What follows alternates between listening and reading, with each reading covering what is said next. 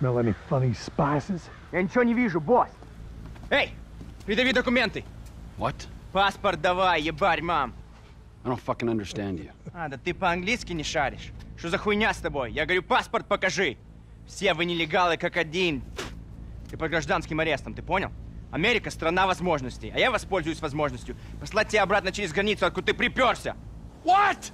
There's a real problem here. Да, люди, мотивированные необходимостью прокормить свои семьи, едут сюда работать по-черному за копейки и прут, прут в эту страну! It's a disaster! And that's why we formed the Civil Border Patrol. wait, wait, wait, wait, wait! My Patriot meter's going off. Huh? Come on, both of you. We've got some illegals over them hills. Ah. Come on, come on, you drive. Ah, you drive, let's go. Drive, get in the back.